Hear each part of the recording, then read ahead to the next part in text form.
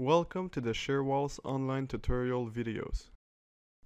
This second video of a series of four will further detail the flexible diaphragm design and demonstrate how to use this function in the software. In the previous training video, the difference between flexible and rigid diaphragm distribution assumptions was demonstrated. We showed that depending on the wall configuration, it would be prudent to run the analysis for a worst case scenario with both flexible and rigid diaphragm assumptions.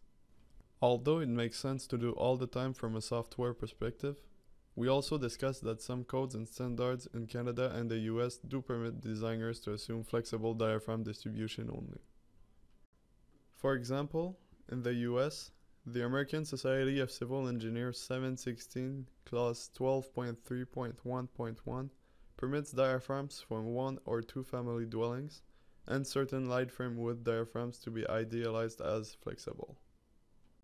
It is ultimately left up to your judgment, as the engineer, to decide which distribution methods to use.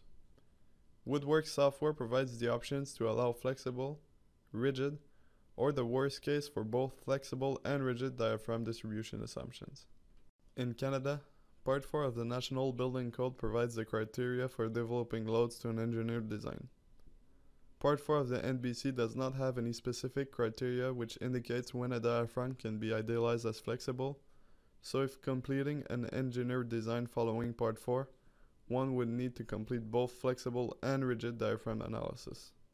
CSA O86 commentary and the American Society of Civil Engineers 716 both provide guidance for when a diaphragm may be idealized as flexible. The equation shown here indicates that if the maximum diaphragm deflection is greater than 2 times the average shear wall story drift, then the diaphragm can be idealized as flexible. This criteria can occur in mid-rise light frame wood structures.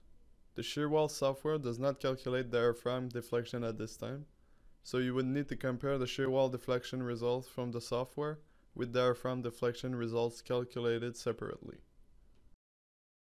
This is the same existing building that I had in the previous example from video 1.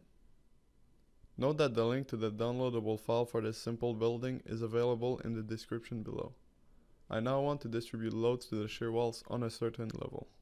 As explained earlier, sometimes you are permitted to complete only a flexible analysis Sometimes you may want to distribute loads based on a rigid distribution assumption, and most times you will want to see what the worst case is when both assumptions are used.